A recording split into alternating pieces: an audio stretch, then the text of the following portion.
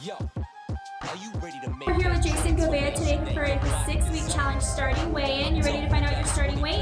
Yeah. All right, let's walk over.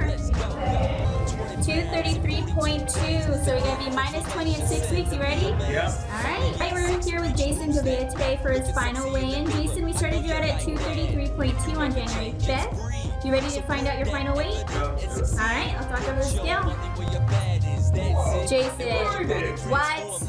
198.1. Congratulations. Sign up now and don't be a stranger. Your vet's funeral is coming, shedding that weight.